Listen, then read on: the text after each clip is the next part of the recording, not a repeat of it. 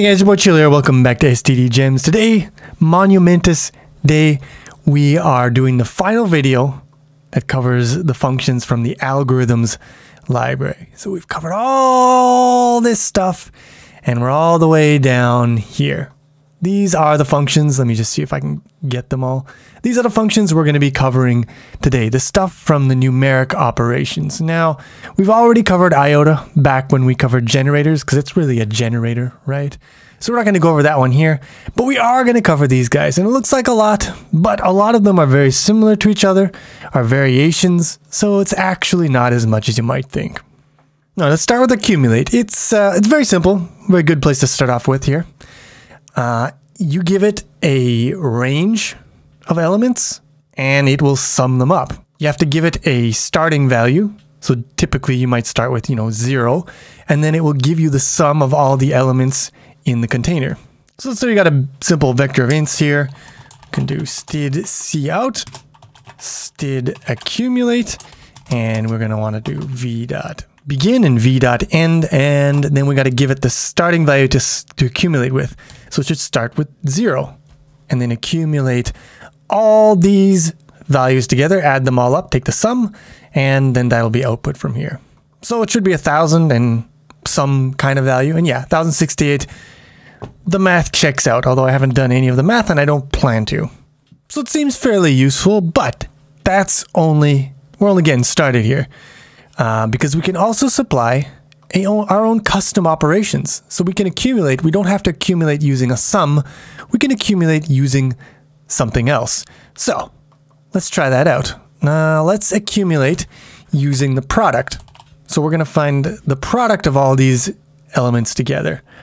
Uh, so in that case, we got to take const. This is important. The first parameter is going to be the values that are accumulated. The second parameter is coming in from the actual container. So it's going to invoke this binary operation for every element in here. It's going to pass that element into the second parameter. The first parameter is going to be the value that is accumulated. And then the output is going to be the new value of accumulation after the operation has been done. So we want to return uh, ACK times L. So if we do this, what do you expect the output to be? Place your bets in the comments down below. Were you expecting zero? Maybe. Maybe if you were if you were paying real close attention, because of course the initial value that we pass in, uh, if it's zero, it's going to be multiplied by everything in here, and they're all going to get zeroed out. So for a accumulate by multiplication, you'd probably want to start off with a one, right? That seems to make a little more sense. Let's do that. And now we get negative, mm, big, big ass number you know, 1,000 times 41, 23. It's got a negative in here, so you'd expect the result to be negative. Again, the math that I haven't done at all checks out. So in this way, you can basically reduce a whole container of a bunch of values to a single value value by, you know, applying some operation and accumulating the result. You can also think of this as like a kind of recursive operation. What we're doing is we're folding in the leftmost value into all the other values in here. And then we recursively apply that here and apply that here until there's nothing left. So we can call this, this is sometimes referred to as a left fold. You could also do a right fold, could change the order. Um, you'd have to, you know, use reverse iterators, but it's the same idea. Now, if you want to get a little more creative, it doesn't have to be a numeric value. Obviously, you could use int, you could use float. Uh, no surprises there. But really, you could use anything you want. So std string, it supports, you know, addition operator and add an equals operator. So what we could do, let's say you got a vector of strings here and you want to just join them all together. Well, we could use accumulate for that. It's not that hard, right? Uh, what would it be? Well, we would start with an empty string and we would just accumulate from begin to end. Uh, let's see what happens when we do this. Well, we get template errors. Okay. Now, what these errors are saying in way too many words is that uh, we've got a vector of std string, but our initial value that we're passing in here is a C string, basically a pointer to an array of cars. So that's no good, right? Uh, so we could just pass it an empty std string in here, and that would get the ball rolling. Let me show you a, a neat way of doing that. Uh, using namespace std string literals. If you do that, then you can do this. You can make your uh, your literals actual strings instead of C strings that have to get converted to uh, std string. So you can do that if you like or not. I don't care. But this should build now. It does build. And when we run it, we get concatenation of everything in that array. So you can see here, not just, even though the header name is numeric, it's not just numeric things that this stuff can work on. It can work on anything as long as it uh, supports the operators or the operations that are being called on the things. Obviously, it can also work on your own custom classes. Anytime you need to accumulate some result that is going to be run over an entire container of things, or reduce them all down to a single thing, std accumulate can be a very nice tool for your toolbox. One thing to note about the operation that you use, uh, it's not allowed to invalidate any iterators, and it's not allowed to modify the elements of the range. Just something to keep in mind. If you do that, you're not guaranteed to have things work out in your favor. Let's just put it that way. Okay, so accumulate, one down, bunch more to go. What's the next one? Inner product. What's it going to do? Uh, well, we see here we're taking in two input ranges. Uh, and we again, we have a, uh, a starting value, initial. Uh, this one actually has two binary operations if you supply custom operations. So there's two operations being applied, there's two ranges. Hmm, seems complicated, but really it's not that complicated at all. So within a product, you got two ranges. What you're gonna do is for each of these matching elements, elements at the same, well, let's say index, what you're going to do is you're going to perform an operation between the two. And by default, it's going to be the product. It's in the name there, right? Inner product. So you're going to multiply the first element of the first range with the first element of the second range, second element of the first range, second element, second range, so on and so forth. Then once you have that result, you're going to accumulate all of those results together and reduce them down into a single. So the second part here is basically the same as accumulate up here, only you're also performing an operation between parallel elements in two different ranges as the first step. So you can think of the first step here as like a std transform. And then the second step is a uh, std accumulate. So let's try it out here. We got these two ranges here. We're going to multiply them and then we're going to accumulate those results together. We're going to start off again, the accumulation of zero. So what do we expect? Well, it's going to be two plus eight plus 24. So if my quick maths is working out, that should be 34 and we get 34. Nothing could be simpler, right? And again, you can supply your own custom operators, operations here to do other things instead of multiply and then add, um, or to support types other than, you know, int and float. Like let's say instead of multiplying and then adding, what if we wanted to subtract and then multiply? Well, we could do std minus followed by std, and that's just multiplies. So the operation, the parallel operation between the uh, two ranges is going to be subtraction, followed by an accumulation by multiplication. That gives us negative 34, which, uh, I don't know, sounds plausible at least to me.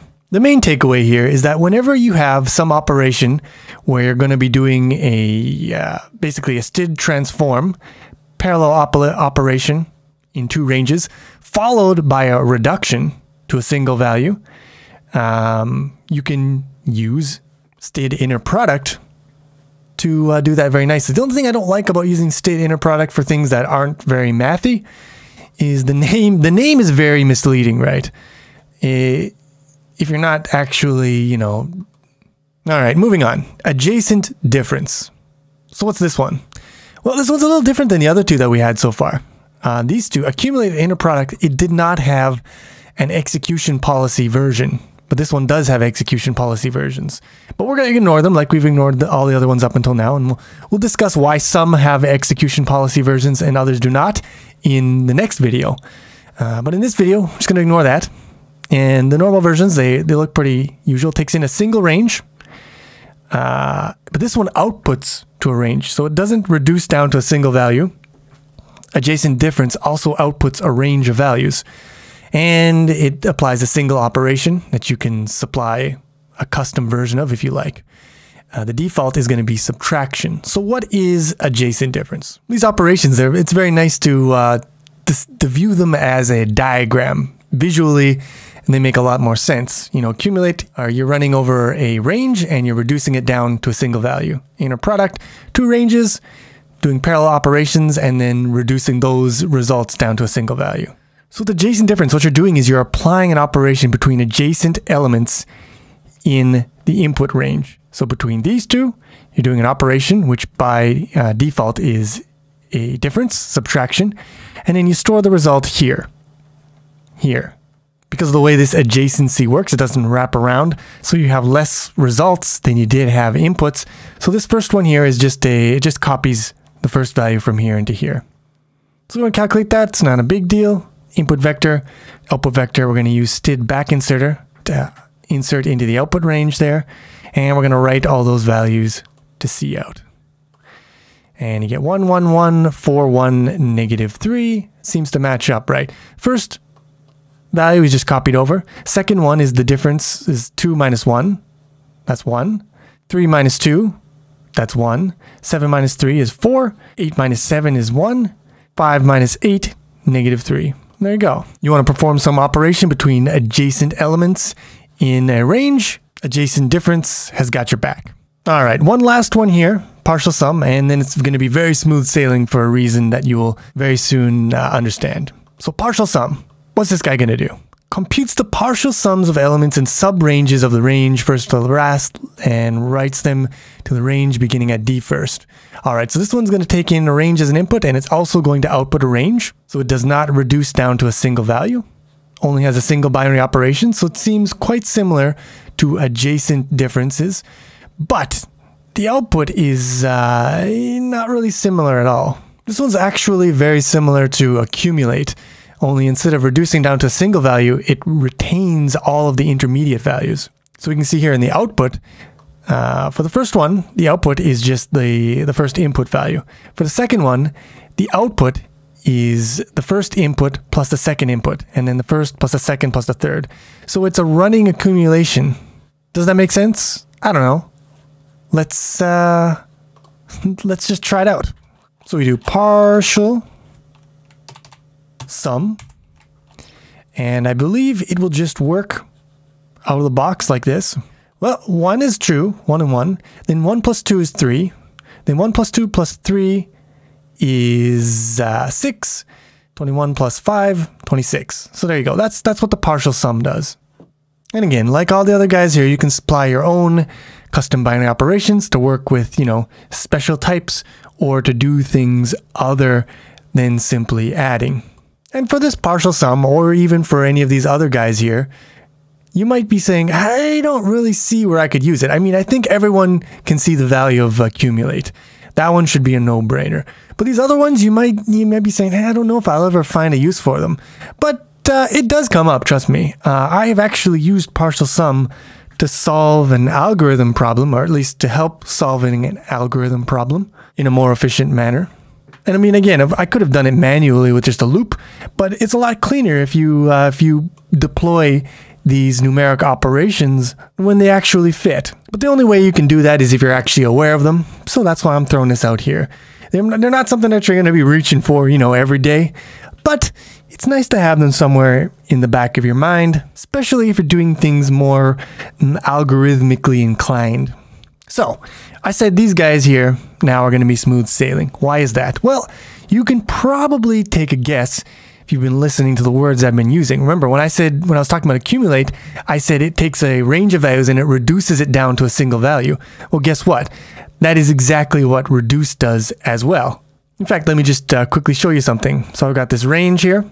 I'm going to accumulate over the entire range and output the result. We can see it's 26. All right. Now I'm going to just replace this with reduce, also 26.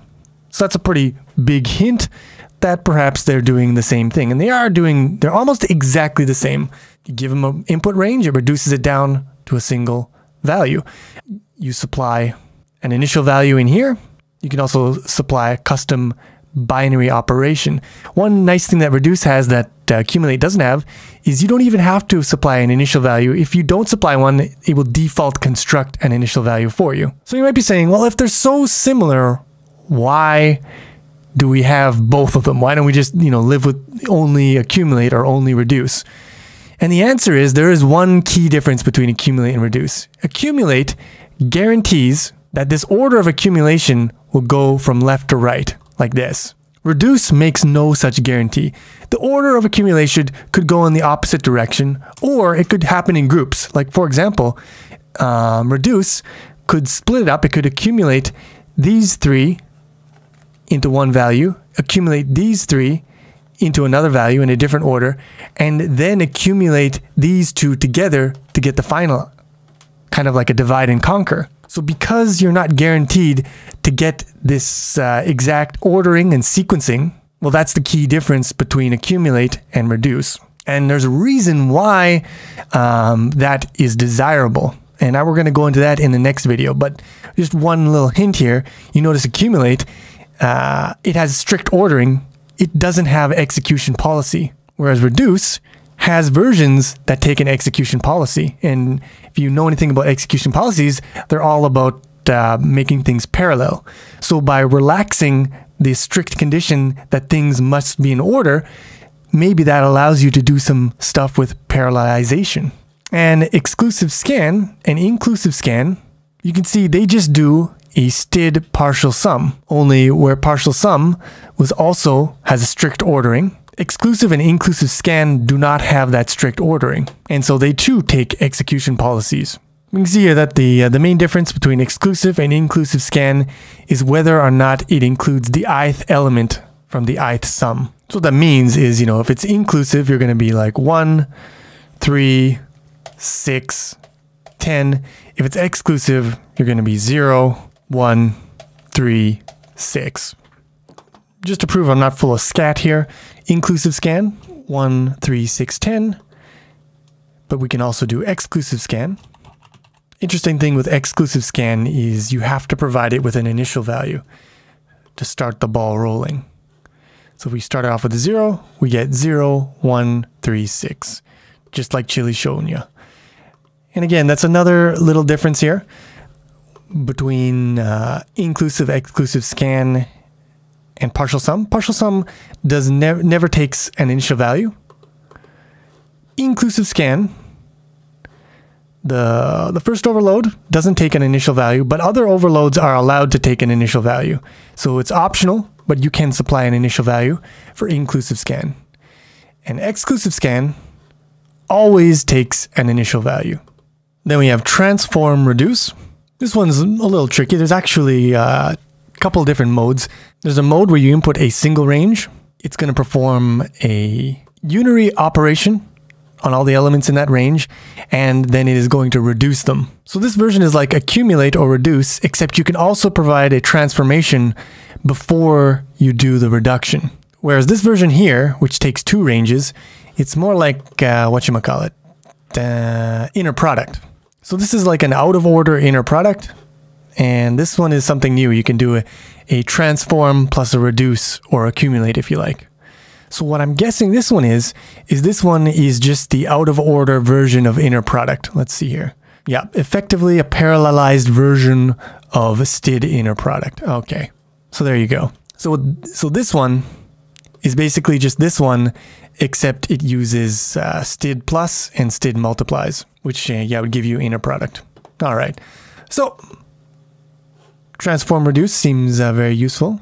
And then transform exclusive scan and uh, inclusive scan is, you know, it's the same as exclusive scan and inclusive scan, except that you can also apply a transformation before you do the scan accumulate. So this one, again, just like inclusive and exclusive scan, it works on a single range, uh, but it just allows you to also apply a transformation operation before you do that accumulation. So basically, like I said, these guys are just variations of these guys up here. The main thing being, these guys they don't guarantee an ordering, right? And that is what enables uh, execution policies and what enables them to be parallelized, which again, we're going to talk about in more depth in the next video. One thing you might be wondering is, well, what about adjacent difference, Chili? I mean, this one starts off with execution policies, uh, and it doesn't have a counterpart in here. Well, that makes sense, right? Because when you think about it, with adjacent differences, it's not like inner product or accumulate or partial sum where there is some kind of result that's being built up and all of these depend on each other. With adjacent difference, these operations are all independent of each other, right? The result of this operation here has no dependency on, you know, the result of this operation here or vice versa. They're completely independent. They're already parallel. They're already, it doesn't matter what order they happen in. And that's why adjacent difference was able to just have the uh, execution policy version added to it in C++ 17. We didn't need to add a new version down here for it. So it's, uh, it's a little bit of a special case, a special boy. But yeah, here's the numeric operations. Like I said, they can come in handy sometimes if they fit. It's a good idea to use them. They're very expressive. They'll make your code shorter and cleaner. But, um, you know, don't turn yourself into a pretzel trying to solve problems using these guys. If it doesn't fit, just forget about it. Write a loop. And hopefully, this has also just a little bit whet your appetite for execution policy. Because that's going to be, like I said, the topic of the next video. We've been every, many, many of these guys in here uh, they support execution policies, meaning that with just by adding a single parameter to the function call, we're able to run these on parallel and multiple cores on our CPU just automatically. It's beautiful. So uh, in the next video, we're going to show how to do that, which is actually very easy. And we're going to show when you can and when you cannot do that, which is a little more complicated. But until then, thanks for watching. Hope you enjoyed this video. If you did, please click the like button, helps a lot. And I will see you soon with some more STD gems.